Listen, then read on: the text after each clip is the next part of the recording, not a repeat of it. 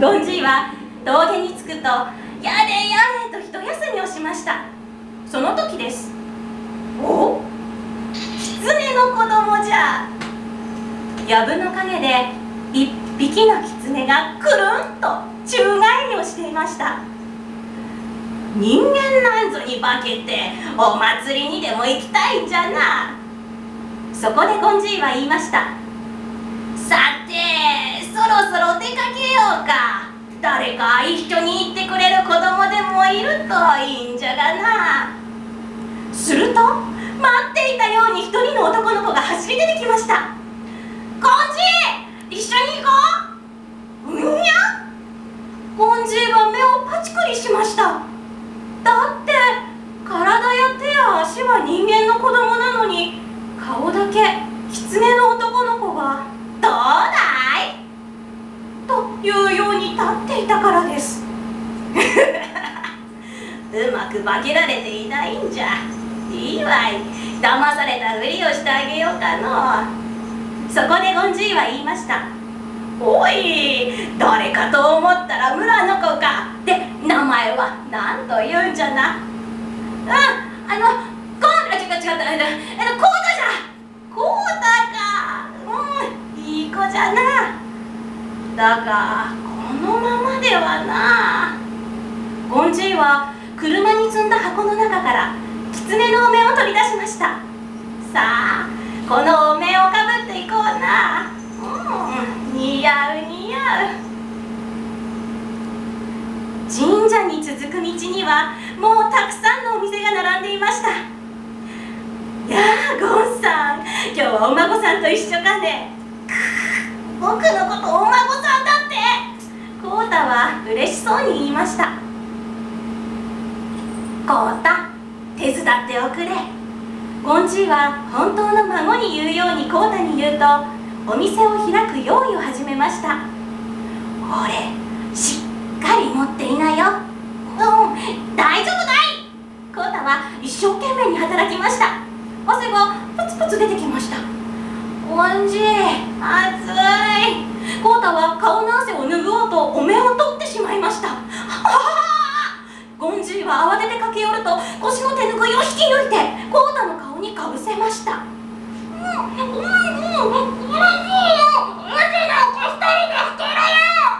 やれやれ。この子と来たらやっぱり顔まで人間になったつもりでおるんじゃな。辺りはだんだん賑やかになってきました。まあかわいいお店番だコータに気がつくとみんな笑っていました。そして風車やお面を買っていきました。ゴンさんいいお孫さんでお店が繁盛だね。隣のお店のおばさんが目を細くして言いました。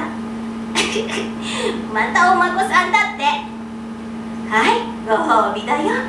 おばあさんはコータを呼ぶととろんと甘い水飴を棒に巻いてくれました。ありがとうおばあさん。コータはお面を取って舐めようとしましたあああああゴンジーは慌ててコータの手を押さえながら言いましたささあ向こうへ行っておかぐらでもみながらいただこうなああおかぐらああれお面をかぶってるそっかお面かぶってれば上がって踊っていいんだねおじいさん僕も踊るよコータは手を振り足を振り舞台へ上がっていきましたてけてんてんつくてんてんてんピーピーピーヒャラピーヒャラドンあれ子供のおかぐらだうまいうまい踊り疲れて一休みおじいさんたちはお面を取って顔の汗を拭きました。僕も汗かいた。コータもひょいっとお面を取りました。ああコータ！ゴンジーが駆け寄りましたが間に合いません。ああお面を取ってもまだキツネえ？え？僕の顔キツネだったのああ嫌だコーコータは一声叫ぶと尻尾の先からキツネに戻って一目散に逃げていきましたこれこれ逃げなくてもいいんだよ捕まえたりなんかしないよみんなが言うのも聞こえないのかあっといに森の中へ消えていってしまいました。こうた。やれやれ。いい子だったのにの。お祭りが終わってお店を閉まってゴンジーは峠の道を帰ります。曲がって曲がって7つ目の曲がり角に来た時あれ？あれ？急に車が軽くなりましたああこうだゴンジ今日は楽しかったね。峠まで来るといつの間にかコウタはいなくなっていました。そっか。狐と分かってしまったら人間のおじいとは遊べないか。ゴンジーは少し悲しそうな顔をしました。風車や太鼓を取り出して切り株の上に置きました。俺今日一日わしのいい孫になってくれたお礼じゃよ。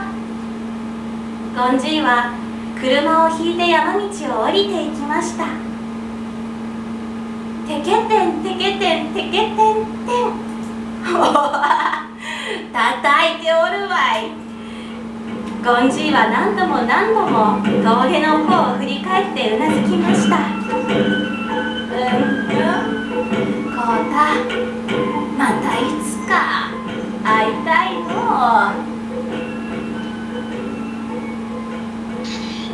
おしまい。どうもありがとうございました。狐を連れて村祭りというお話でした。実はですね私まだ夏祭りに行っておりませんで本当に夏祭りに行きたいなと思っているんですがなかなか今年はやっぱり自粛モードでお祭りないですよね。ぜひあの今日は今日が夏休み。夏休みじゃない。夏祭りだと思って遊んでいってください。ここにねあの鈴線もありますんで樹里線みたいな感じで。鈴線もございますのでどうぞ遊んでいってください。それでは続いての曲「絶世美人」お聴きいただきます。この曲はですね「さよなら絶望先生」っていうアニメ皆さんご存知ですか？何でもすぐ絶望して自殺をしてしまうというまあとんでもないアニメなんですけれども そちらの曲から1曲お聴きいただきます。それではお聴きください「嬉しい夢にが今日